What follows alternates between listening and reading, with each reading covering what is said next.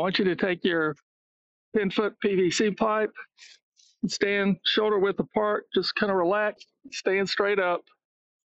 Put the pipe across your chest and hold it like this in your arms and just turn to the back.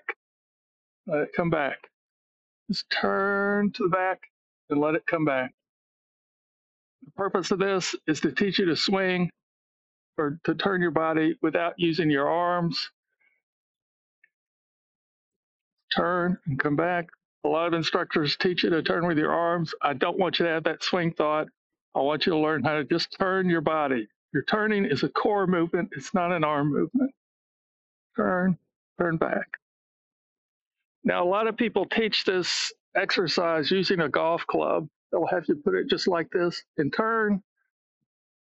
That's a completely different exercise because of the weight of the club is so light.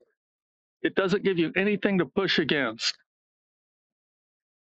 Turning like this will not give you the feeling of turning against that longer pipe. If you try the two, you'll immediately notice it. If you don't believe me, go into any Home Depot and just pick up a pipe and turn it. Just stand in the aisle, put it like this, and turn the pipe, and you'll understand the difference immediately. Remember, one of the origami golf rules is that we let your body train you. We don't try to train your body.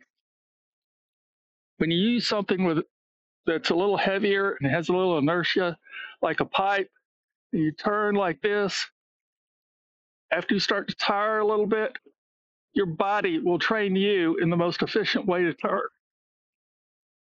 When you use something light, like a golf club, you'll never reach that point.